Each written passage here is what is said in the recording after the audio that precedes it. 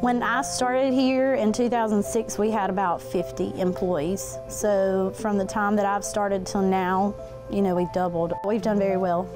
It's not slowing down. Really, since I started. I mean, it's never fell off, it's just continued to climb.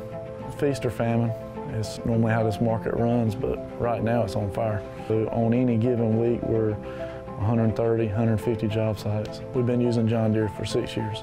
Well, what we love about our John Deere machines are they don't break down. Uh, they're reliable, and uh, we're able to keep them on the job site working. John Deere, the reliability is top notch. It's a very good quality. The speed, the digging, it's got plenty of power. It checks all the boxes for us, for sure. Uh, the 35G is uh, great for getting in tight spots, light enough to haul easily, and uh, still has the power to do what we need it to do. Just cuts down on time, you know, in tight places. These houses are tight. Perfect fit for us. Our local John Deere dealer, James River Equipment, has been very helpful. James River is always able to go above and beyond to give us the service um, that we need.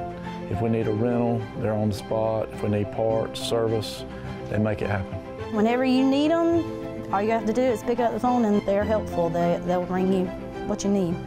I'm most proud of how far we've come to see how big it has gotten and where it started. The sky's the limit.